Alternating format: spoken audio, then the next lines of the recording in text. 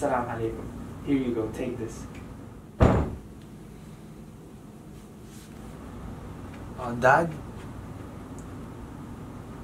Yes, son? Why do you always give food to them every Ramadan? Because they don't have any food to break their fast with.